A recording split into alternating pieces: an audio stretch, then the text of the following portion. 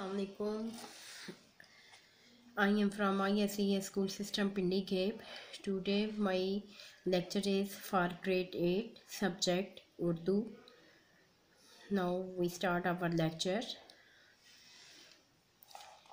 unit number four Pakistan के चंद अहम त्यौहार इस यूनिट में आपको पाकिस्तान के त्यौहार के मुताबिक के मतलब बताया जाएगा कि पाकिस्तान में कौन कौन से त्यौहार होते हैं। आप लोग बड़ी क्लासेस हो, आपको पता होगा कि पाकिस्तान में कौन कौन से त्यौहार मनाए जाते हैं। अल्हम्दुलिल्लाह वी आर मुस्लिम्स और हमारे मुसलमानों के जो त्यौहार हैं उम्मीद करती हूँ कि हर बच्चे को पता होंगे। जैसे कौन कौन से हमारे मजहबी त्यौहार कौन कौन से हैं? शब बैरात, शब महराज ईद उलफ़ितर ईद उलज़ा योम अशूरा और जश्न ईद नबी।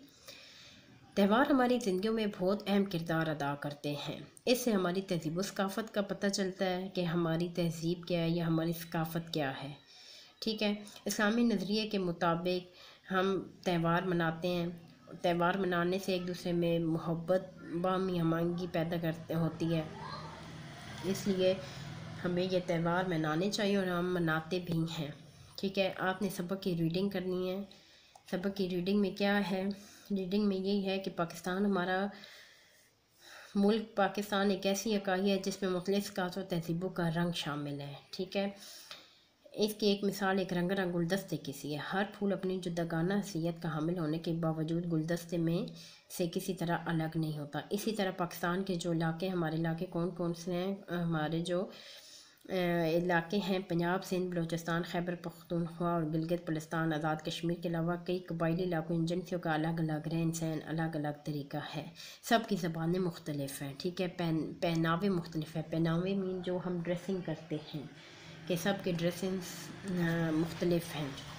ठीक है, सब एक दूसरे मुख्तलिफ़ होने के बावजूद भी हम लोग अपने त्यौहार जोंको शौक के साथ मनाते हैं। पाकिस्तानी तहजीब में इन सब का रंग शामिल है। इन तहजीब को बनाने निखारने के लिए इस्लामी त्यौहार और रवायात का बड़ा अहम किरदार है।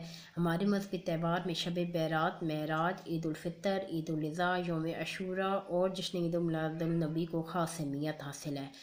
इसके अलावा गैर मुस्लिमों के भी मजहबी त्यौहार होते हैं, उनके अपने त्यौहार होते हैं, जैसे क्रिश्चियन है तो वो क्रिसमस करते हैं, इंडियन हैं, हिंदू हैं तो वो दिवाली वगैरह शामिल होती हैं उनके त्यौहारों में। और वो हमारे त्यौहारों में भी भरपूर हिस्सा लेते हैं, ठीक है? ये त्यौहार लोगों के दरमियान मोहब्बत क़वत का रिश्ता मज़बूत करते हैं। हमारे त्यौहारों में से सबसे अहम है जी लोक विरसे का मेला। पाकिस्तानी तहजीब सकाफ़त के फ़रोग तहफ़ के लिए इस्लामाबाद में लोक विरसे का कौमी अदारा कायम किया गया है।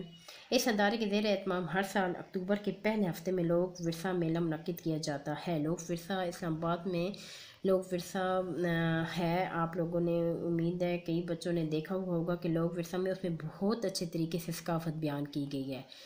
हमारे हर सूबे की सकाफत बयान की गई है, उसमें हर चीज़ वाज बताई गई है, दिखाई गई है कि किस तरह ये हमारे त्यौहार होते हैं या लोग किस तरह हर इलाका अपने त्यौहार मनाता है। ठीक है, ये मेला एक हफ़्ता जारी रहता है, इसमें रंगा रंग तकरीबा का अहतमाम किया जाता है, मुख्तलिफ़ सूबों की दस्तकारियों और घरेलू सनतों की नुमाइश होती है। हर सूबे की तहजीब सकाफ़त को जानने का मौका मिलता है, ठीक है, ये इसके आगे है मेला मवेशियाँ पाकिस्तान, बुनियादी तौर पर एक ज़रूरी मुल्क है। इस मुल्क की अक्सरियत ज़रात के पेशे से मुंसलिक है। लोगों की बड़ी तादाद अला नस्ल के मवेशी भेड़ बकरियाँ पालते हैं। इनसे तजारती मकासद भी हासिल होते हैं। ये तफरी का ज़रिया बनते हैं। और ये हर साल का इस मेले का अहतमाम होता है। हर साल फरवरी के आखिरी हफ़्ते में पाकिस्तान के दिल लाहौर में मनद होता है। पाकिस्तान से लोग अला नस्ल के जानवर नुमाइश के लिए लाते हैं, ठीक है? इसके अलावा मेले में बैल, बैलों की दौड़ घोड़सवारी नेज़ाबाजी ऊँटों का रक्स, के अलावा पोलो, मैच, जिमनास्टिक मुजर दीगर रंगुस्काफत का प्रोग्राम होता है। और रात के वक्त आतिशबाजी का खूबसूरत मुजाहरा, इस मेले को चार चाँद लगा देता है। फ़ौजी परेड मुख्तु इलाकों के रक्स भी पेश किए जाते हैं। आगे है शेंदूर का पोलो त्यौहार। पाकिस्तान के शुमाली इलाका जात को स्याओं की जन्नत कहा जाता है। पाकिस्तान के शुमाली इलाका जात को स्याओं की जन्नत कहा जाता है। शेंदूर का खूबसूरत और दिलरुबा इलाका भी इनमें शामिल है।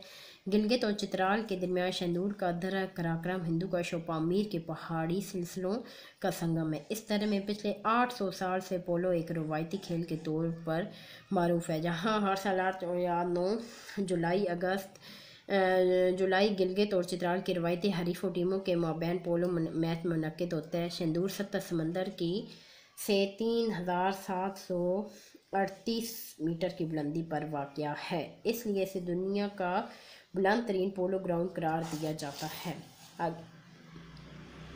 सिबी मेला सिबी तरह बुलान के दहाने पर आबाद एक कदीम शहर है। ये शहर कोयटा से तीन घंटे की मुसाफत पर जनूब मशरक में वाक़ है। यहाँ हर साल पंद्रह फरवरी को एक शानदार सकाफती मेला मनद होता है। कब होता है? पंद्रह फरवरी को। ठीक है, पाकिस्तान के कौमी त्यौहारों और मेलों में सिबी मेला भी अपनी मकबूलीत का बायस नुमाया मकाम रखता है। इस मेले की रवायत भी एक सदी से ज़्यादा अरसे पर है। ये मेला पहली बार 1885 1885 में मनद हुआ। इस मेले में पाकिस्तान से शायक इकट्ठे होते हैं और अला नस्ल के जानवरों की नुमाइश होती है। इन इलाकों और कौमी त्यौहारों के अलावा भी मेले और त्यौहार मनद होते हैं। बुजुर्गान दीन सूफिया कराम के मज़ार पर सालाना उर्सों का इनका किया जाता है। इन उर्सों के मौक़ों पर भी मुख्तफ तकरीबा मनद होती हैं, जिनमें दूर नज़दीक से लोगों की बड़ी तादाद शामिल होती है।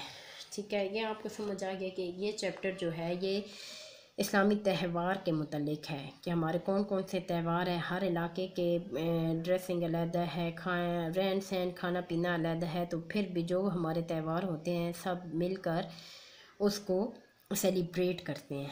तो इसकी एक्सरसाइज हमने करनी है। पाकिस्तान के चंद अहम त्यौहार के और मुख्तसर जवाब, मुख्तसर सवाल हैं। इनके आपने जवाब कापी पे लिखने हैं, ठीक है? पाकिस्तान की तहजीब सकाफ़त कैसी है? लोग विरसे के मेल में कौन कौन सी अशिया होती हैं?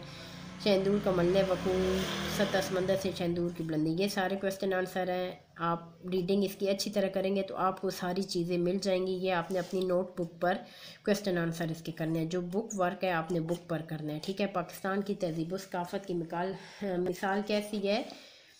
एक फूल जैसी, एक खूबसूरत दरख्त की, एक रंगा रंग गुलदस्ते की या हरी भरी, एक रंगा रंग गुलदस्ते की। पाकिस्तान के मुख्तलिफ़ इलाकों के लोगों की, लोगों को एक लड़ी में परो दिया गया है इस्लामी नज़रिए ने। लोक विरसे का मेला शहरत का बायस है आलमी। पाकिस्तान बुनियादी तौर पर मुल्क है ज़राई। पाकिस्तान के सबसे मेशी मुवेला कब होता है? फरवरी के आखिरी हफ़्ते में है। लोक वरसा के जेर तमाम मेले का अहतमाम कहाँ किया जाता है? इस्लामाबाद में, पाकिस्तान को, पाकिस्तान का दिल कहा जाता है लाहौर को। हर साल से भी मेले का इनका होता है पंद्रह जनवरी को। ये आपका बुक वर्क है आपने बुक पे करना है, ठीक है? आगे जी दर्जैल अल्फाज के मानी लोगों से तलाश करो इन अपने जुमलों में इस्तेमाल करने। जुमले आपने बनाने हैं ठीक है। नेक्स्ट टाइम जक्र मोना सलाह कला करें। आगे है जी पाक ये खाली जगह पूर करें। सिबी दरा डैश के दहाने पर आबाद है। ये भी आप जब रीडिंग करेंगे आपको इसकी फिल इन दी ब्लैंक्स मिल जाएगी। आपने ये बुक पर ही करनी है। नोटबुक पे आपने क्वेश्चन आंसर लिखने हैं ठीक है। इसके बाद आ, ये वाला क्वेश्चन करना है। क्वेश्चन नंबर सिक्स दर्ज झैल मवारात को तरकीब का मफहूम वाज करें और हाँ बस ये है। बाकी आपका बुक वर्क है, आपने बुक पर ही काम करना है। उम्मीद है आपको समझ आ गया होगा। ठीक है, उर्दू का हमारा आज यूनिट नंबर फोर का लेक्चर नंबर वन था। उम्मीद करती हूँ कि आपको समझ आ गया होगा। ठीक है थैंक यू वेरी मच अल्लाह हाफिज़।